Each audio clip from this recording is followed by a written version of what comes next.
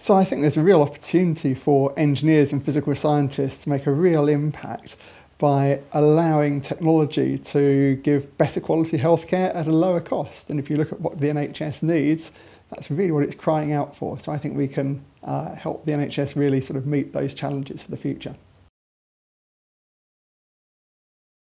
I think it's quite a challenge when you get towards the end of uh, developing an engineering solution uh, to actually then push it towards a clinical trial. So actually getting the funding at that stage and getting the right group of people together.